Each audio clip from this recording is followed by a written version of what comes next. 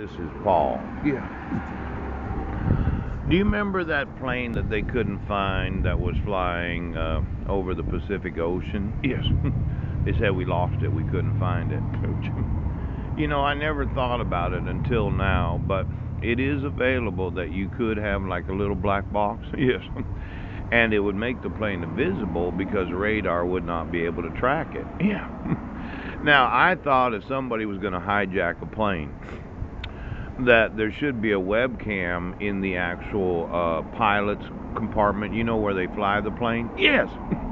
Well, let's say you put a webcam in there and it was connected to the internet. you could physically see the pilots in each and every plane that is flying back and forth from wherever they're going. Yeah. Because I was thinking about being on one another. Yes. Let's say you were to load yourself full of electricity before entering a plane. Pooch. And you were going to be on the passengers and you were going to hijack a plane and cause some sort of international incident. Yeah. You could uh, be on the person, take over the plane and cause it to crash and causing multitudes of deaths.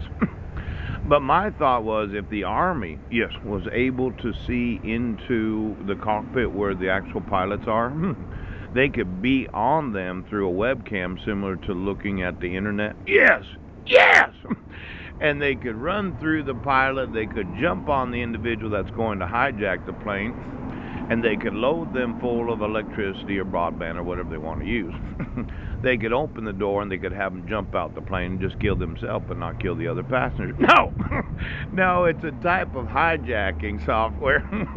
no, it does work when you think about it. In fact, call the FAA, the, the Federal Aviation Administration, Yes.